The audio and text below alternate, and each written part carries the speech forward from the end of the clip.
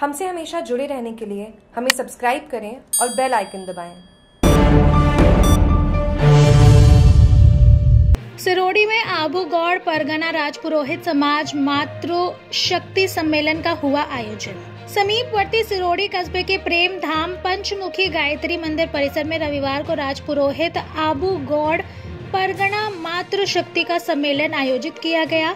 सम्मेलन के शुरुआत में माँ गायत्री के समक्ष दीप प्रज्वलन कर कार्यक्रम का आगाज़ किया गया।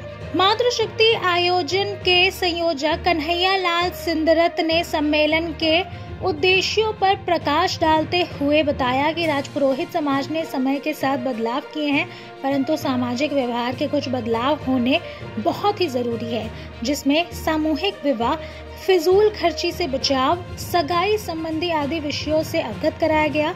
सम्मेलन में आबू गौड़ परगना के गाँव से आई मातृ शक्तियों ने भी समाज के सर्वांगीण विकास के लिए अपने विचार प्रस्तुत किए। सम्मेलन में हंजा देवी धानपुर ने भावगीत सुनाया। नीलम कुमारी धानपुर ने आधुनिकता की होड़ में अपने संस्कारों को बचाए रखने की अपील की।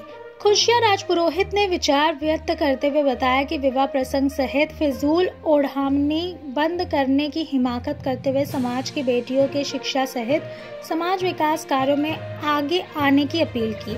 इस अवसर पर संजिला सनवड़ा, पारू देवी, असावा, कविता देवी, गुलाबगंज तेजल सनवाड़ा, नीता कुमारी सेलवाड़ा, स्वीटी सिरोड़ी, सुला देवी पामेरा, शांतिलाल पोसिंत्रा, दिनेश कुमार असावा, चेलाराम वान कस्तूर जी छापोल भूरा राम वान सहित राजपुरोहित समाज के कई लोग उपस्थित रहे।